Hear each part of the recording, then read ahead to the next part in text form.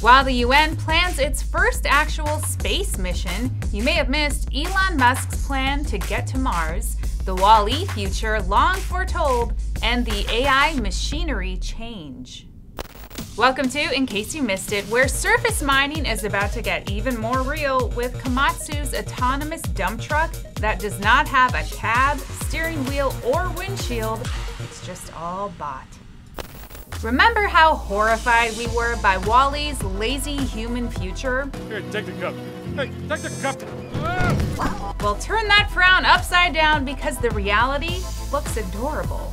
Nissan created these smart seats that politely and quietly keep you in line, waiting your turn with the easiest little movements. It's modeled after the car maker's autonomous driving system called ProPilot, and while sadly, Americans who are perfect for these things will not get to try them out, Japanese restaurants can apply to rent them through the end of December, so book your tickets now.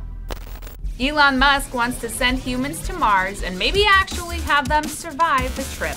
Earlier this week, the SpaceX CEO unveiled his plan for getting to the Red Planet atop the largest rocket ever constructed, the 400 foot tall Interplanetary Transport System.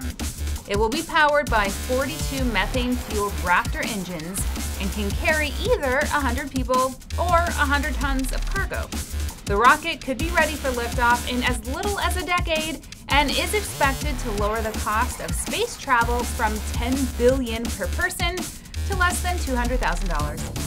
To prove it's not just hyperbole, they then went ahead and showed us a video of the project's engine being tested as it's built.